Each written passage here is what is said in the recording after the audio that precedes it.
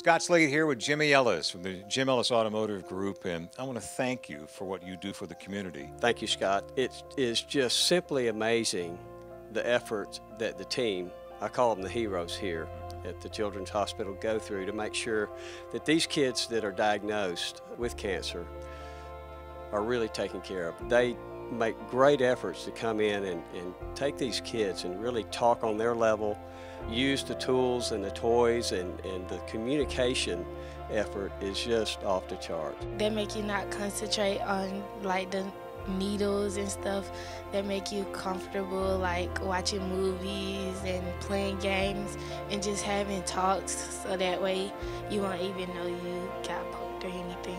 We got to meet one of the heroes, uh, Becca, and she went through the illustration of how she communicates to these, these children about even something as simple as the port, but something probably pretty scary to them. Well, it's not a fun place at times, but the doctors and nurses are nice and they make you comfortable, so it's like a great experience. The donations to WSB Care-A-Thon benefit lots of areas here. Like you said, the, the child life support, that's the family support.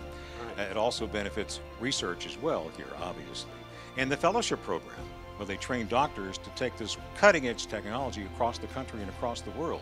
So a donation here is going to make a huge difference way down the line. Something else I didn't know is that there's portions of this support program, like the child life and the family support and the research that is totally funded by donations. How important is it for the community to support a facility like this? We should take this as, as ours, as our place of support, our place of refuge for these kids to come and be treated.